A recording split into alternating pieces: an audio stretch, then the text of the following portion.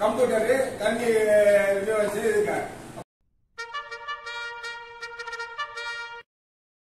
புதிய பார்வை சார்பாக நேயர்களுக்கு வணக்கம். குமரி மாவட்டத்தில் இடைக்கோடு பேரூராட்சி பகுதியில் இரவு நேரத்திலும் பஞ்சாயத்து உறுப்பினர்கள் உள்ளிருப்பு போராட்டம் நடத்தி கொண்டிருக்கிறார்கள். ஏன் சார் இந்த உள்ளிருப்பு போராட்டம்? இடைக்கோடு பேரூராட்சியில் கடந்த ஏப்ரல் மாதம் இருபதாம் தேதி நடைபெற்ற மன்ற கூட்டத்தில் இரண்டு பணியாளர்களை அதாவது குடிநீர் விநியோகம் செய்வதற்காகவும் ஒரு கணினி ஆசிரியர் ஆசிரியரை நியமனம் செய்வதற்காகவும் மன்ற கூட்டத்தில் தீர்மானிக்கப்பட்டது. ஆனால் அதன்படி மன்ற தலைவர் அவர்கள் செயல்படாத காரணத்தினால் இருபது சாரி பதினெட்டு இருபது இருபத்தி ரெண்டு அன்று நடைபெற்ற மன்ற கூட்டத்தில் மேலும் நான்கு நபர்களை எடுக்க வேண்டும் என்று மன்றத்தில் தீர்மானம் வைத்திருந்தார்கள். அந்த தீர்மானத்தின் அடிப்படையில் மன்ற பார்வைக்காக வைத்திருந்ததில் தீர்மானத்தின் அடிப்படையில் அவர்கள் நியமனம் செய்யாமல் நியமன ஆணையையும் அங்கீகாரத்திற்கு வைக்காமல் தலைவர் தன்னிச்சையாக அந்த பணியாளர்களை நியமனம் செய்திருக்கின்றார்கள். இது பேரூராட்சி உறுப்பினர்களுக்கு தெரியவில்லை. ஆகையினால் நாங்கள் இன்றைய தினம் அதாவது பதினான்கு ஒன்பது ரெண்டாயிரத்தி இருபத்தி ரெண்டு அன்று காலை பதினோரு மணி முதல் பேரூராட்சி அலுவலக அலுவலகத்தில் திமுக கட்சியை சார்ந்த ஏழு உறுப்பினர்களும் சுயேட்சை உறுப்பினர்கள் ஒருவரும் இன்னும் கம்யூனிஸ்ட் பார்ட்டியை சார்ந்த ஒருவருமாக ஒன்பது பேர் இந்த உள்ளிருப்பு போராட்டத்தில் நாங்கள் கலந்து கொண்டோம். குமரி மாவட்டத்தில் குறிப்பாக வந்து இடைக்கோடு பேரூராட்சி அப்படின்னு சொன்னாலே பெரும்பான்மையாக வெற்றி பெற்ற உறுப்பினர்கள் வந்து டிஎம்கே பார்ட்டியை சார்ந்தவங்க. ஆனால் பிஜேபியில் இருக்கிறவங்க தான் பஞ்சாயத்து பிரசிடண்டா இருக்கிறாங்க அப்படின்னு சொல்கிறாங்க இதனால உள்ள ஒரு காழ்ப்புணர்ச்சி காரணமாக இந்த பிரச்சனையா?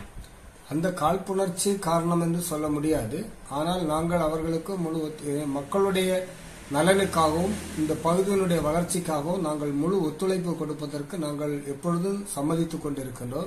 ஆனால் மன்றத்தினுடைய தீர்மானம் அடிப்படையில் இல்லாத காரணத்தினால் இந்த பணி நியமனத்தை ரத்து செய்ய வேண்டும் என்ற கோரிக்கை தான் எங்களுடைய கோரிக்கை இருந்தது தவிர இதில் அரசியல் காழ்ப்புணர்ச்சி எங்களிடம் இல்லை. பட் அவர்களிடம் இருந்தால் அதை நாங்கள் ஏற்றுக்கொள்வதற்கு தயாராக இல்லை.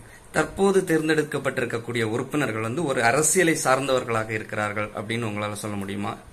நிச்சயமாக நாங்கள் தலைவர் அவர்களிடம் பேசும்போது கட்சி மேலிடம் அவருக்கு கொடுக்கக்கூடிய அந்த நிர்பந்தத்தையும் கட்சியினுடைய கட்டளையை ஏற்றுத்தான் இந்த மாதிரி பணி நியமனங்கள் நான் செய்ய வேண்டி இருக்கிறது என்று அந்த தலைவரே என்னிடம் தொலைபேசியில் தொடர்பு கொண்டு பேசியுள்ளார்கள். ஆனால் அதற்கு நாங்கள் அப்படி இருந்தால் நீங்கள் பஞ்சாயத்தில் வந்து ஒருமனப்பட்டு ஒன்று சேர்ந்து செயல்பட முடியாத ஒரு அவலநிலை ஏற்படும். அதனால் அதை சற்று மாற்றிக்கொள்ளுங்கள் என்று நான் ஏற்கனவே கூறியிருக்கிறேன். கூட்டத்தில் இருபத்தி மூன்று பேர்களை எடுப்பதாக சொல்லி தற்பொழுது இருபத்தி ஏழு பேரை பணி நியமனம் செய்திருக்கின்றார்கள். அந்த எப்படி பணி நியமனம் செய்வதென்றால் அயலாக்கத்துறை அல்லது சுய உதவி குழுக்களின் வழியில் எடுப்பதாக டெண்டர் கொடுத்திருக்கின்றார்கள். அந்த டெண்டரின் அடிப்படையில் புதிய ஆட்களை நியமனம் செய்வதற்கு மன்றத்தில் எந்த விதமான தீர்மானமோ அறிக்கை வைக்காமல் தன்னிச்சையாக தலைவர் செயல்பட்டிருக்கின்றார்கள். அதை சார் பிரசிடென்ட் கொடுக்கறாங்க நீங்க பண்றீங்க. இம்ப்ளிமெண்ட் பண்றீங்க. ரத்து செய்யும் வரையிலும் இந்த போராட்டம் ஓயாது. நாங்கள் உள்ளிருப்பு போராட்டம் தொடர்ந்து நடத்தி கொண்டிருக்கிறோம். என்னுடைய பெயர் கிறிஸ்தாஸ் நான் ஆறாவது வார்டு திமுக உறுப்பினர்.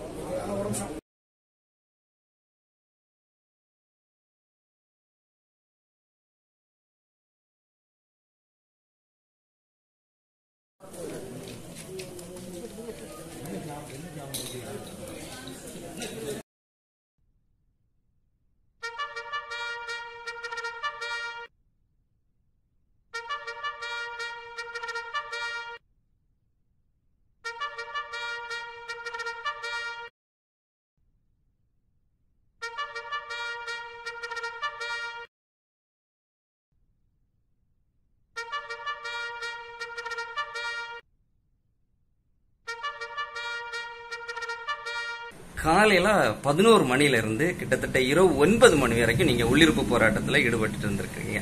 இப்ப என்னதான் முடிவு வந்திருக்கு? இப்பொழுது அந்த செயல் அலுவலர் அவர்களும் அது அந்த ஸ்- அயலாக்க குழுவினுடைய தலைவரும் இன்றைக்கு வந் வருகை தந்து பேசியிருக்கின்றார்கள். அதன் அடிப்படையில் அந்த புதிதாக நியமனம் செய்யப்பட்டிருக்கக்கூடிய மூன்று பேர்களையும் நாளைய தினத்திலிருந்து பணியில் அமர்த்த மாட்டோம் என்ற வாக்குறுதியை தந்திருக்கின்றார்கள். அதன் அடிப்படையில் எங்களுடைய போராட்டத்தை நாங்கள் முடித்துக் கொண்டோம். மிக்க நன்றி சார். நல்ல தகவல். மீண்டும் தொடர்ந்து புதிய பார்வையோடு புது தகவல்களோடு உங்கள் முன் இணைந்திருப்போம். நன்றி வணக்கம். நன்றி. வணக்கம். நன்றி சார்.